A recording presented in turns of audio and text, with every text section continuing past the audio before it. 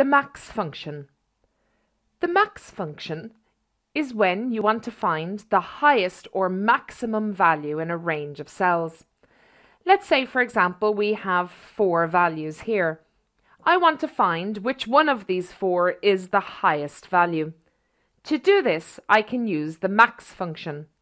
So I start off by typing in an equals, then typing in the function max and opening up my bracket. I then go and type in the range of cells, which in this case is B4 to B7, and then I close my bracket and hit return. So within these group of cells here, 500 is the highest or max value. Let's try that again for each one of the products. So I want to find for product 1 the highest sale over the three years.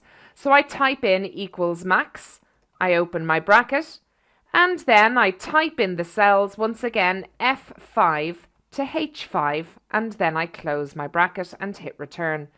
So this is showing me that 400 is the max or highest sale over these three years.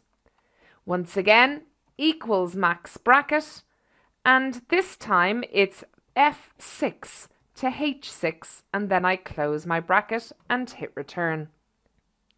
This is a very handy function for long lists of data and you want to pull out the highest value.